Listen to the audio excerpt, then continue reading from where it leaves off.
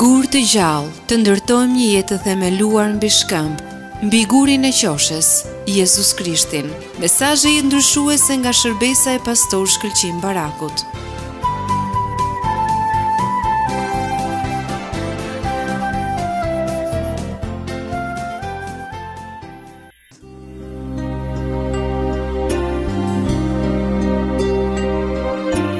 Perëndia përdor njerëzit që kanë besim tek ai.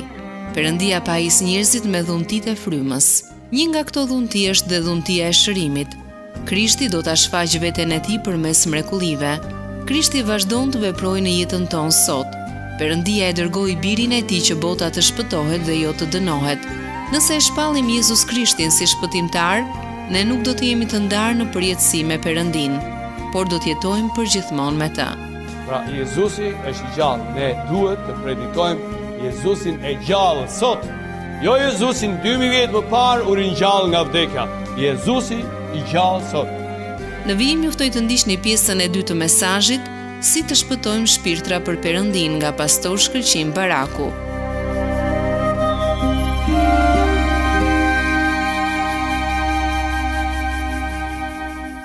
Ajo grua që ka filluar kishën Foursquare në Amerikë, një nga fuqitë kryesore që ajo e ka përdorur në emër të Jezus Krishtit ka qenë shërimi. Dhe Foursquare kisha katërkëndore që nuk ka ndonjë kuptim në gjuhën shqipe, por ne mund t'i thoshim katër shtyllat e ungjillit, është Jezusi shpëtimtar, Jezusi shërues, Jezusi pagëzues në Frymë të Shenjtë, Jezusi mbreti që do të vijë, pra shpëtimtar, shërues. Një nga këto katër është Jezusi shërues. Dhe ajo e filloi kishën e saj me këto shenja e me këto mrekulli, dhe sot është një nga kishat Foursquare kishat më të mëdha në botë. Dhe Perëndia i përdor ata njerëz që kanë besim në të. Në qoftë se ti shkon e thua, po s'ndodhi mrekullia, çfarë bëhet, turpërohem unë, turpërohu ti. Ti s'ke dëgjuar Frymën e Shenjtë se ku duhet të vesh. Dëgjoje Frymën e Shenjtë, ti s'mundet, sa të sëmurë, të shkosh në spital. Ti shko aty ku Perëndia të drejton ty. Dhe ja, kësa në, në këtë kish, kishën e parë forskuer, oborri i kishës, ose parkingu i kishës nuk kishte vend nga makinat e ambulancës. Makinat e ambulancës shkonin radhazi dhe qindra njerëz shëroheshin në ditë, në ditën e shërbesës, në shërbesën e së dielës. Nuk shkonte ajo në spital. Edhe në qoftë se ke një mik, shko në spital dhe lutu për ta. E në qoftë se njeh dikë shko dhe lutu për ta. Pra, është gjë e mirë të lutesh, por në an, me anë të lutjes për të sëmurët, t'i shpallësh ungjillin e Jezus Krishtit. Krishti dëshiron të bëjë mrekullira. Ai kërkon të shfaqë veten e tij në mirësi. Ne jemi njerëz të kësaj bote, njerëz të rëndomtë, ordinerë, dhe na vjen mirë që ta prezantojmë veten tonë në qoftë se do ishte e mundur duke bërë dhe një bamirësi. Për të thënë ja ky është ai që dha këto shkon, ja ky është. E jo Perëndia, Perëndia do të bëjë më shumë se sa kaq. Prandaj lutuni për të sëmurët. Mos keni frikë. Perëndia do të bëjë mrekulli. Lutuni me besim. Unë nuk e harroj në kohën e kosovarëve, të refugjatëve kosovarë, lart në katin tamam atje ku është radiostacioni, atje ishte një familje kosovare, Naseri, gruaja e tij, tre vajzat e tij, djali i tij dhe e ëma e tij.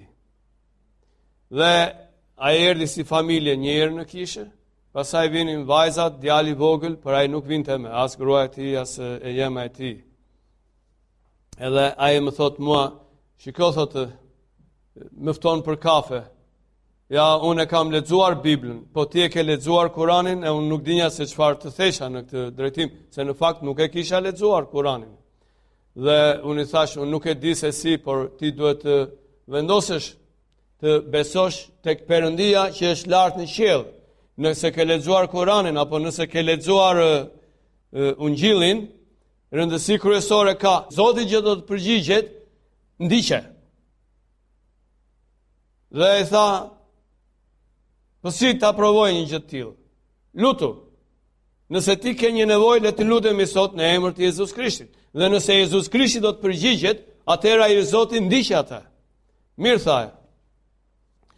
Unë kam tha, kur ikëm ne lamë baban në shtëpi, dhe nuk e dimë, s'kemi asnjë komunikim, nëse është gjallë a s'është gjallë, dhe nuk dimë ç'ka ndodhur me shpinë.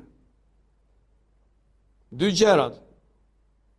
Dhe e treta tha është, motra ime ka 12 vjet martuar, dhe tashi janë prej 10 vitesh në, në Gjermani, në të gjithë mjekët, por nuk ka fëmijë, nga një mjek në një, nga një klinikë në një klinikë tjetër, por nuk kanë fëmijë, lutu për këto tre gjëra. Po në qoftë se ndodh mrekullia, i thashë unë, ti do të ndjekë, ndjekësh Zotin? Po tha, unë do ta ndjek Jezusin. Edhe u lutëm për të treja, që Zoti t'i jepte mundësinë të merrte vesh për babanë, të merrte vesh për shpinë, dhe që motra e tij të kishte një fëmijë, të ishte shtatzënë. Javës që erdhi, ai rrinte zakonisht, u kujtohet, të dielave rrinte në dera e madhe e Dorkasit, të hapte, mbyllte për makinat, sa herë hynin dhe dilnin. Edhe atje e pyeta, naturisht e pyeta vetëm për babanë, nëse ke ndonjë lajm apo jo, dhe për shpinë, jo ende, tha, për motrën s'mund ta pyesnja pas një jave. Javës, pas dy javësh e pyes përsëri, po pa vajtur unë, s'kish nevojë ta pyesnja, djali me vrap, tha, gjyshi është në shpi, tha, shumë mirë, Naseri del atje, babai, tha, është shumë mirë, tha, Serbët, tha ushtria serbe, në një nga shpitë tona, se kishin dy shtëpi në një oborr, e kanë marrë për vete, dhe i kanë thënë babait, ti mos luaj, mos ki frikë, kush të prek ty na ka prekur ne. Jo vetëm që s'i kishin bërë gjë babait, por ishte edhe në ruajtje të armikut të tij, nga armiqtë e tij. Dhe shtëpia ishte e pacenuar. Unë kam vajtur dhe e kam parë me sytë e mi shtëpinë. Dhe mbas një kohe të gjatë, vajta përsëri në Kosovë, tre javë pasi u lirua, u çlirua Kosova, e vajta përsëri, Naseri s'kishte ndonjë lajm nga motra, edhe herën e tretë kur unë shkoj në Kosovë, ai del me vrap në dera, si dëgjoi makinën, i biri kish vajtur brenda, pasi pa makinën ka ardhur Qimi, e tha, u bë dhe e treta, tha, motra është shtatzënë. Edhe ishte tre muaj shtatzënë, që nga koha që ne kishim lutur. Pra, Perëndia bën mrekulli, që të tregojë, të shfaqë veten e tij. Po, a besoi Naseri? Jo. Unë i lutem Zotit që një ditë ai të besojë. Po jo, thotë, ja, unë mirë jam, kështu si jam, në rregull. Por, Perëndia bën mrekulli, Unë e tregova gjithë këtë histori sepse ndërkohë kur unë po i shpallnja ungjillin Naserit dhe duke i thënë që ti provoje Jezusin nëse ti ke një çështje dhe kërkoja të ta zgjidhë dhe nëse nuk ta zgjidh, mos beso në të dhe thashë me veten time, si e thashë këtë fjalë. Pse, po mos ndodhë mrekullia në këtë njeri dhe Jezusi nuk është, Si e bëra unë këtë gabim që ta mbështes ungjillin e Jezus Krishtit në mrekulli? Por ja Perëndia atë besim të madh e bëri realitet. Pra Jezusi është i gjallë, ne duhet të predikojmë Jezusin e gjallë sot. Jo Jezusin 2000 vjet më parë u ringjall nga vdekja. Jezusi i gjallë sot. Kemi një këngë, është gjallë, është gjallë, është gjallë përgjithmonë. E dini këtë këngë? Do ta këndojmë sot. Amin. Lutuni për të sëmurët. Mos harroni një gjë. Qëllimi kryesor i Perëndisë nuk është që të shërojë të sëmurët. Perëndia do t'i shërojë të sëmurët. Qëllimi i dytë, të shërosh të sëmurin nuk do të thotë që ti e neglizhon atë. Por qëllimi kryesor i Perëndisë është shpëtimi. Njerëzit duhet të shpëtojnë dhe njerëzit duhet ta dinë nga se duhet të shpëtojnë. Në Ungjilli sipas Gjonit në kapitullin 3 në vargun 17 na thuhet, sepse Perëndia nuk e dërgoi birin në këtë botë për ta për ta dënuar botën, por që të shpëtohet. të shpëtohet prej tij, të shpëtohet prej dënimit. Mirëpo ne shpeshherë ne themi duhet të shpëtohesh, disa herë ne flasim e shpallim ungjillin si njerëz naivë. Dikush e di këtu më mirë se unë, vajtën një grup në një fshat, edhe sa ndaluan atje një entuziast i madh me naivitet, tha. E njeh Jezusin ti, e njeh?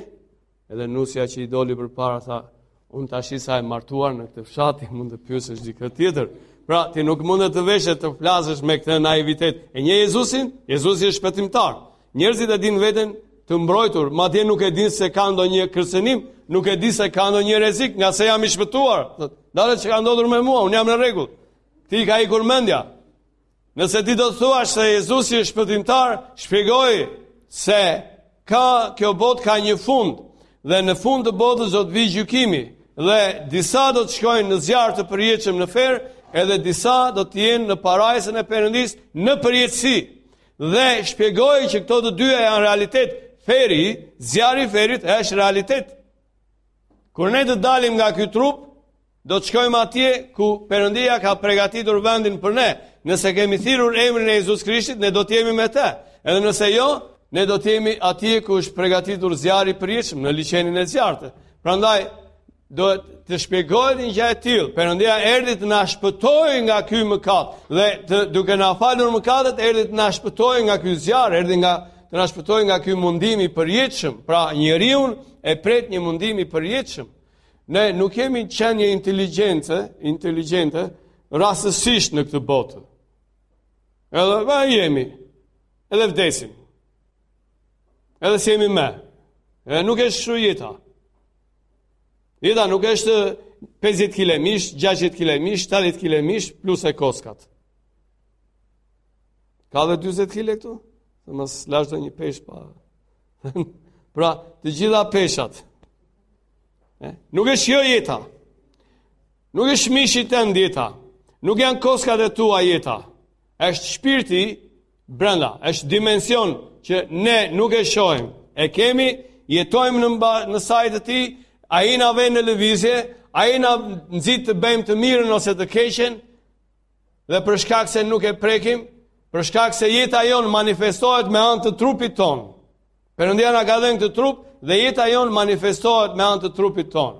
Dhe nëse dikush na i prek trupin tonë, ne na dhëmb. E nëse dikush na sulmon, ne na dhëmb. Edhe meqenëse ne na dhëmb, Perëndia thotë po, në qoftë se ti nuk dëgjon fjalën e fjalën time dhe në qoftë se ti nuk thërret emrin e Jezus Krishtit për shpëtim, unë këtë trup do ta djeg në përjetësi. Do të të vendos ty, do të të ringjall, e do të vendos përsëri në këtë trup e do të djeg në përjetësi. edhe do të djeg në përjetësi. Prandaj, a, nëse ne e shpallim Jezus Krishtin si shpëtimtar, atëherë nga se jemi të shpëtuar. Pra, ungjilli është shumë i thjeshtë. Lutu për të sëmurët.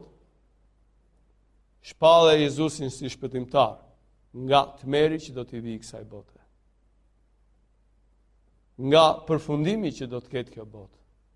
nga zjarri dhe nga mundimi i përjetshëm që do të kenë ata njerëz që nuk e thirrën emrin e Jezus Krishtit. Pra, ne duhet të jemi njerëz me, me bindje të jo thjesht të thella, po, me logjikë të freskët, me diturinë e Jezus Krishtit.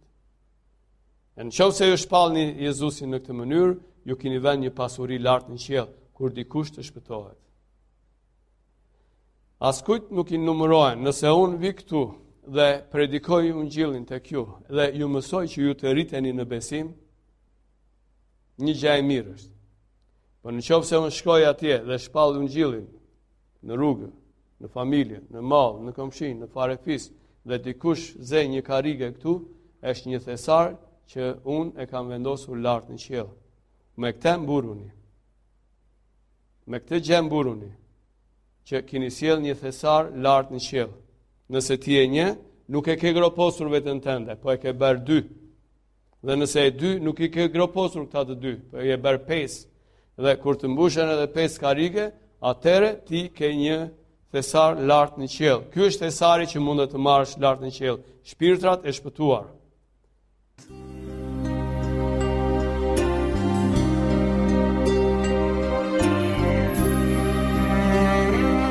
Dëgjuat pjesën e dytë të mesazhit si të shpëtojmë shpirtra për Perëndinë nga pastor Shkëlqim Baraku.